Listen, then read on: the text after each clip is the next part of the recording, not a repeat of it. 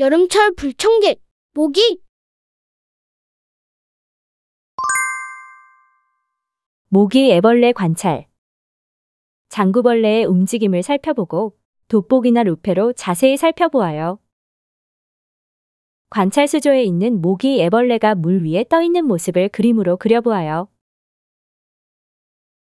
장구벌레를 물과 함께 떠서 패트리 접시에 옮기고 돋보기 또는 루페로 더듬이 겹는 순간을 찾아보아요.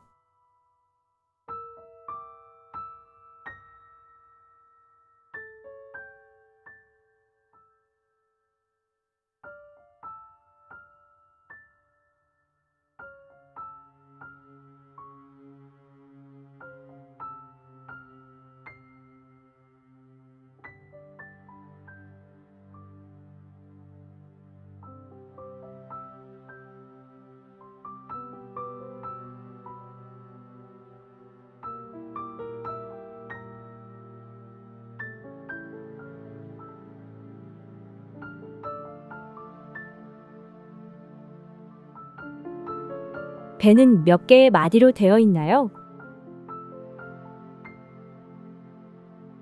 모기에는 있지만 장구벌레에 없는 것은 무엇인가요?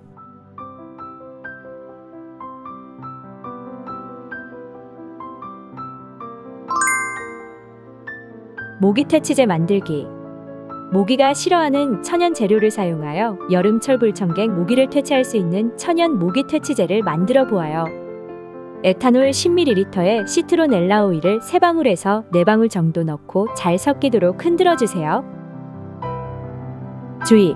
허브에 민감하거나 알레르기 반응이 있다면 오일의 양을 조절해 주세요. 오일은 선생님이 넣어줍니다.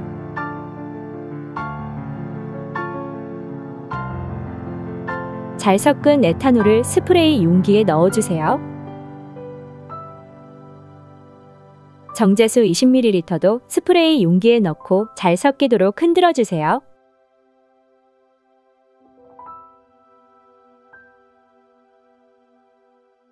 스티커에 이름을 적고 붙이면 천연 모기 퇴치제 완성. 천연 성분이기 때문에 6개월 이내에 사용해 주세요. 항상 최선을 다하는 과학나무가 되겠습니다. 감사합니다. 선생님 과학나무에서 만나요.